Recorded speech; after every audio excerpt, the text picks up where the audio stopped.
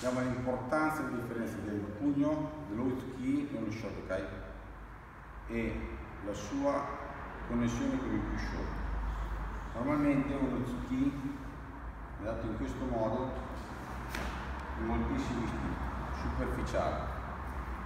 Il Shotokai lavora sulle energie, quindi quindi non si ferma prima l'idea di proseguire oltre il corpo. Questo è uno dei concetti fondamentali del Kyushu.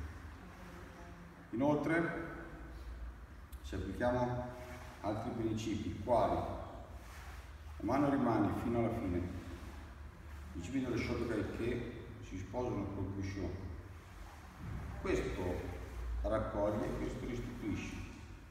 Ora facciamo Utsuki normale Utsuki Shotokai.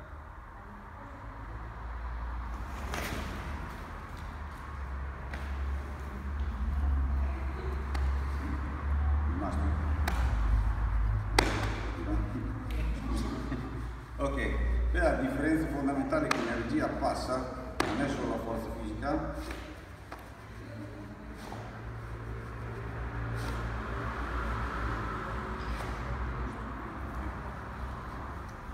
la differenza fondamentale. La nostra energia viene trasmessa e quindi utilizziamo anche la sua all'interno del suo corpo e questo dà l'effetto?